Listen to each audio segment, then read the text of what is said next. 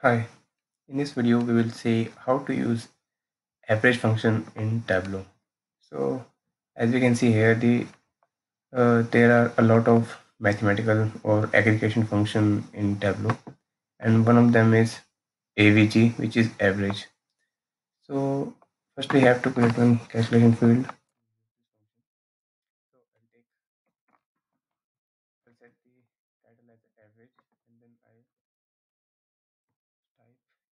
AVG.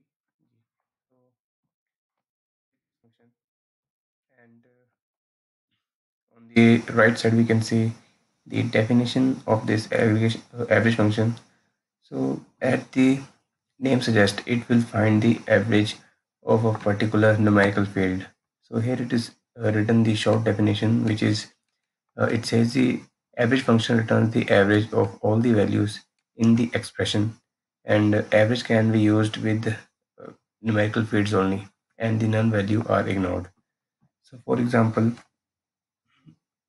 uh, I'll use the average function on.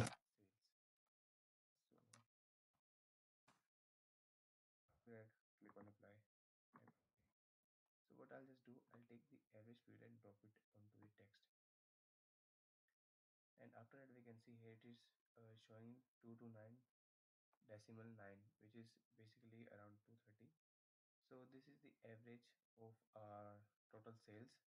So uh, if you want to compare the average uh, so there's another way to find out the average of sales.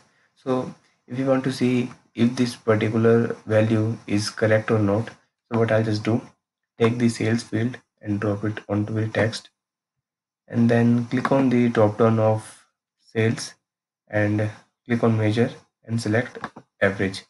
So now we can see the value of both of the field are same. Uh, the aggregation value that we have just created and the average sales that we just converted into the sum to the average. So we can say this is uh, both are the values are same which is basically the average of the sales. So this is how we can use the average function in tableau. And thanks for watching this video and stay tuned for more